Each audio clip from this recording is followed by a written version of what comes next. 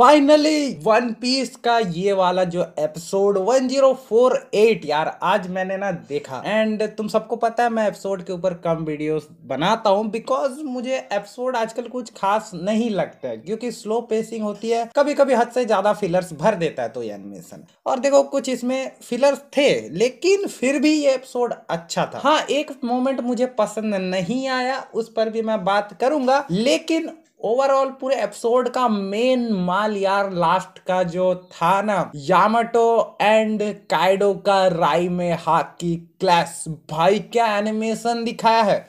पूरा एपिसोड का बोरियत यार उसमें खत्म कर देता। है मतलब तुम सोचो, इस लेवल का एनिमेशन हमें यामाटो और काइडो के फाइट में देखने को मिल रहा है। फिर जब लूफी वर्सेस काइडो होगा एंड मैं जॉय बॉय वाला लूफी का बात नहीं कर रहा हूँ, मैं बात कर रहा हूँ, लूफी अभी जब उठ के फाइट करेगा ना, तब भाई देखने में तो और ज़्यादा मज़ा आएगा, भाई तबाही मच जाएगा यार। एंड मुझे क्यों लग रहा है कि एनिमेशन लेवल यार मैड हाउस मापा इन सबको टच करने वाला है। वैसे ब्लीच के जो thousand year of blood war arc का जो एनिमेशन था, उसमें जो फाइट दिखाया गया तो वो भी टॉप नॉच था।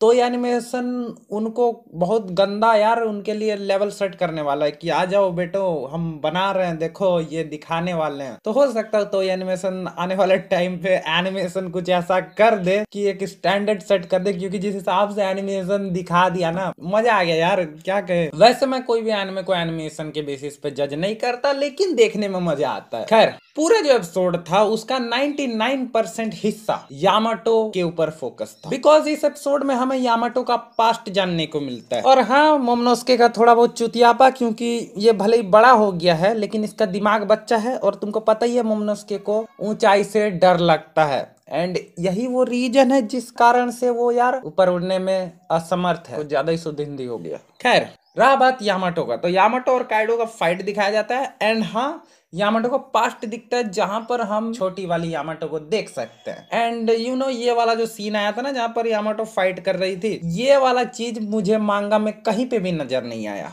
एक्चुअली मांगा के हिसाब से हुआ क्या था कि तुम ये वाला पैनल ही देख लो। मांगा में हमें दिखाया जाता है, यामाटो बंधी हुई है, वो चिल्ला रही है कि मैं कुछ की ओडेनू वगैरह वगैरह, ये सब चीज़ें, उसको भूख भी लग रहा होता है। ये सब चीज़ें।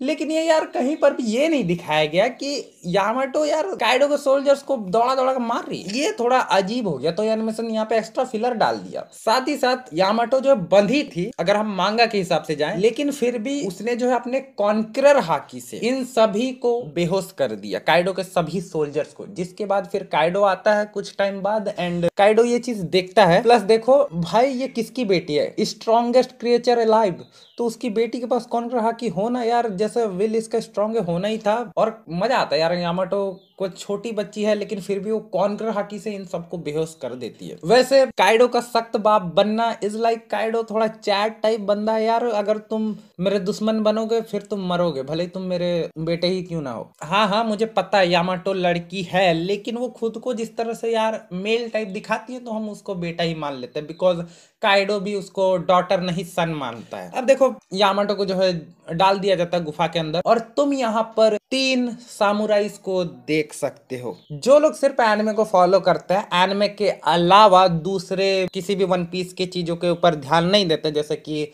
वन पीस का मांगा हो गया, वैसे मांगा और एनमे कुछ ज़्यादा डिफरेंस तो है नहीं, लेकिन हाँ कुछ डिफरेंस है। पर तुमको ये चीज़ इन्फॉर्मेशन नहीं मिलेगा कि ये तीन सामुराइज कौन है? ये चीज़ मैं बताऊँगा, रुक जाओ। और ये कोई मांगा स्पॉइलर नहीं है। साथ ही साथ इस वाले समुराई को देखने के बाद तुम्हारे दिमाग में आ रहा होगा कि ये शायद जोरो का बाप है। तो बता दू, ये जोरो का बाप नहीं है बिकॉज़ ये चीज़ जब मांगा में आया था ना, तब उसके बाद कुछ ज़्यादा यार ट्रेंड पे चल गया था। और मुझे याद है, मुझे भी लगा था ये जोरो का बाप है बिकॉज़ हु बहु ये दोनों एक दूसरे के जैसे दिखते हैं। पर यार हरकतें तक एक जैसी है, लेकिन दोनों बाप बेटे नहीं है। ये बात ओडा ने बता दिया। हाँ हो सकता है कुछ और रिश्ता हो, चाचा भतीजा का हो सकता है, दादा पोते का हो सकता है, कुछ भी हो सकता है, लेकिन बाप बेटे तो नहीं है, इतना पता है। अब क्या रिलेशन है, वो शायद ओडा बाद में फ्यूचर में रिवील कर दे, लेकिन फ़िलहाल के लिए तो कुछ नहीं पता। बात कर लेते हैं बाकी के दामियों की। ये वाला जो दामियो है, ये दामियो ऑफ़ की भी है, ये वाला दामियो दामियो ऑफ़ उडोन है, और जो जोरो का बाप जैसा दिखने वाला ये जो दामियो है, इसका नाम है सिमुसुकी उसी मारू, जो की है दामियो ऑफ़ रिंगो वैसे देखो, पाँच दामियोस हैं, जिनमें से चार हमें रिवील किए जा चुके हैं। एक दामियो अभी भी ओडा छिपा के रखे हैं। एंड ये चीज़ अभी तक यार मांगा में भी रिवील नहीं हुआ है।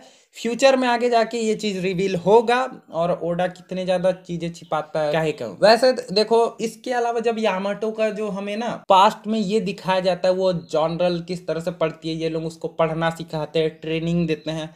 ये भी बहुत अच्छा लगा देखने में। साथ ही साथ वो जो रॉजर का जर्नी यार, दोबारा हमें फिर से दिखाया जाता है किस तरह से वो ओडेन को अपने साथ लिया था। ये थोड़ा हमें डिटेल में दिखाया जाता है। ये तो एनिमेशन ने एक्स्ट्रा चीज़ ऐड किया है, लेकिन मुझे अच्छा लगा ये चीज़ देख के। जो चीज़ अच्छा लगा उसको मैं इनकार नहीं करूँगा।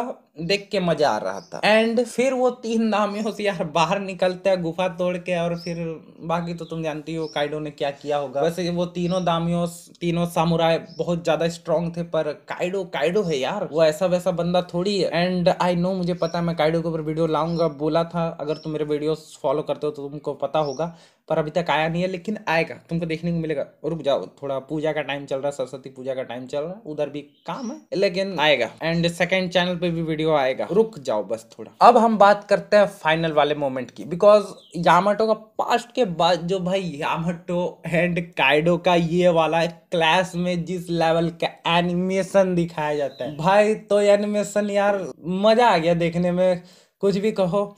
एंड एक हज़ार पंद्रह का एनिमेशन मुझे बहुत मस्त लगा था। लेकिन फिर भी ये वाला जो एनिमेशन है ना ये और भी ज़्यादा नेक्स्ट लेवल पे था।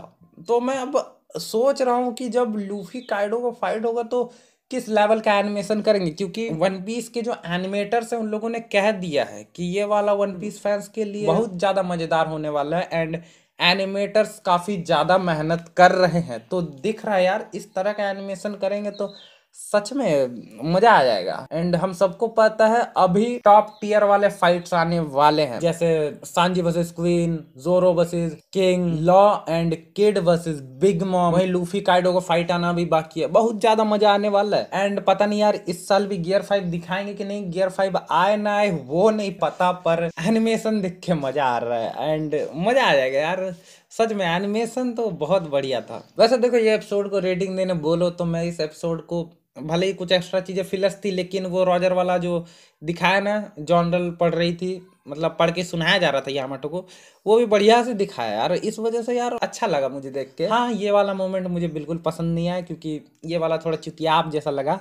खैर, फिर भी ये एपिसोड 8.5 आउट ऑफ़ 10 तो डिजर्व करता है। तुम सब अपनी राय कमेंट बॉक्स में देना मत भूलना।